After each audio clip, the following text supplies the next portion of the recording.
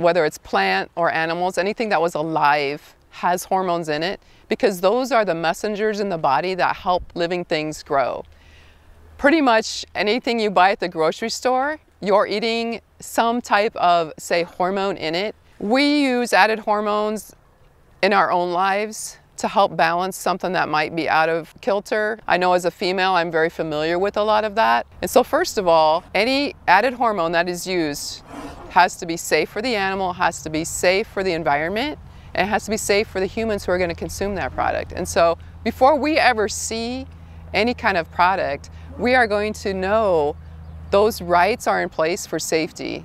And then it allows us to use that responsibility focus we have and say, we would like this technology tool because it allows us to be better stewards of the land. We use an added hormone implant. It goes under the skin of the ear and what this implant does is it acts as another messenger in addition to the hormones that are already naturally occurring in that animal. That messenger tells systems in its own body to use less feed while it's putting on the muscle. We can use 10 to 20% less feed for the same amount of meat and muscle that we're providing our consumers. And so it's really important to Steve and I to be responsible uses of the land and the water.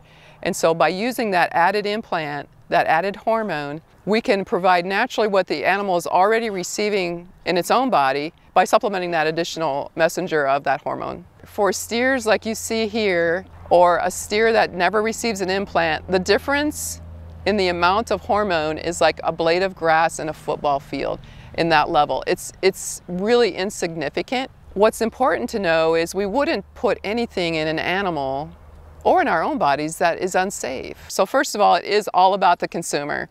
Quality beef, safe, nutritious, healthy, because we want not only our families to thrive, but we want everybody who eats beef to, to live a better life.